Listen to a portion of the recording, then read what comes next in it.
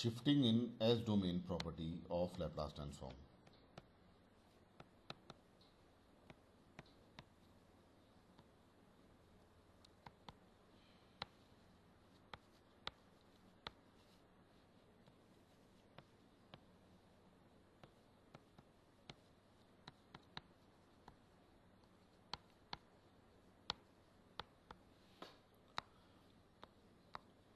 Suppose Laplace transform of xt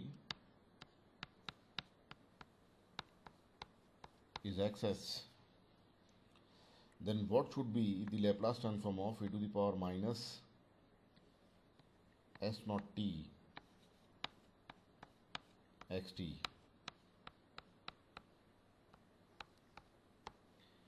ROC for x of s is r now Laplace transform of xt is xs and it is integration of xt e to the power minus st from minus infinity to plus infinity. Now taking the Laplace transform of e to the power minus s naught t xt this will be integration of xt e to the power minus s naught t e to the power minus st from minus infinity to plus infinity. So Laplace transform of e to the power minus s naught t xt is integration of xt e to the power minus s plus s naught t from minus infinity to plus infinity. Now we will compare the the two expressions expression for Laplace transform of xt and the expression for Laplace transform of this e to the power minus s naught t from sorry e to the power minus s naught t xt. So in the expression of Laplace transform of xt we have s here that's why it is x of s. And in the expression for Laplace transform of e to the power minus s naught t xt we have s plus s naught. So this is x of s plus s naught.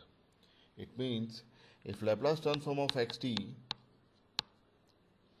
is xs with ROC r, then Laplace transform of e to the power minus s naught t. Xt is x of s plus s naught and in ROC r s is replaced by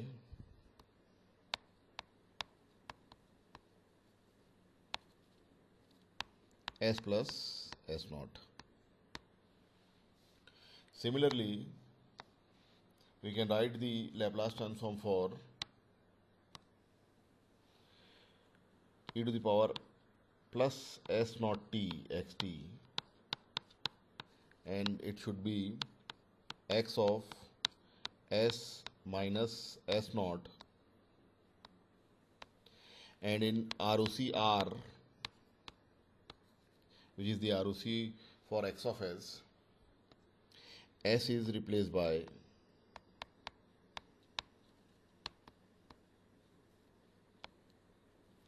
s minus s naught and that will give the ROC of x of s minus s naught.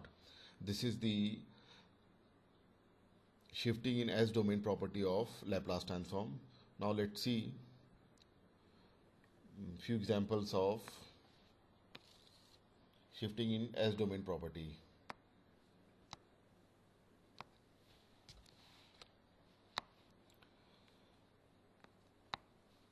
Laplace transform of ut is 1 by s and its ROC is real value of s greater than 0. Now this ut is multiplied with e to the power minus 60 ut. To find the Laplace transform of this signal, we will apply shifting in S domain property of Laplace transform and the Laplace transform will be 1 upon S plus 6. So in ROC this S is also replaced by S plus 6. So ROC is real value of S plus 6 should be greater than 0 or real value of S and real value of 6 is 6 should be greater than 0 or real value of s should be greater than minus 6 this should be the ROC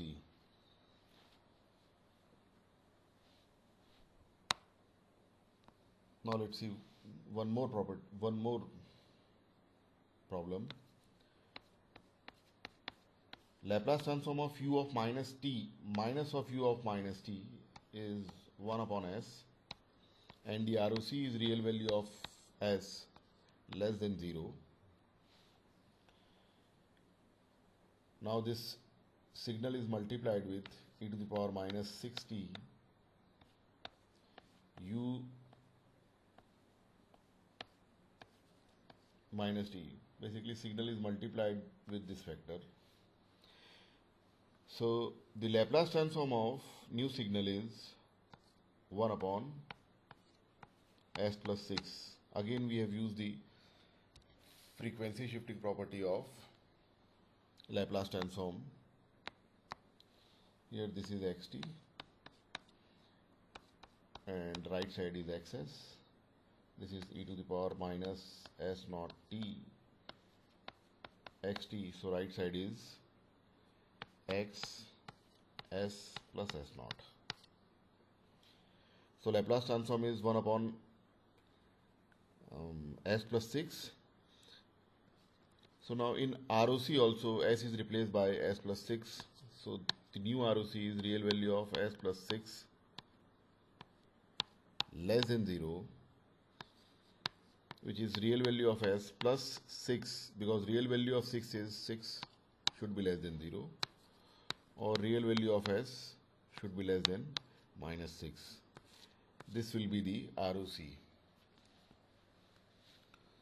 so that's how we use shifting in S domain property of Laplace transform to find the Laplace transform of different signals.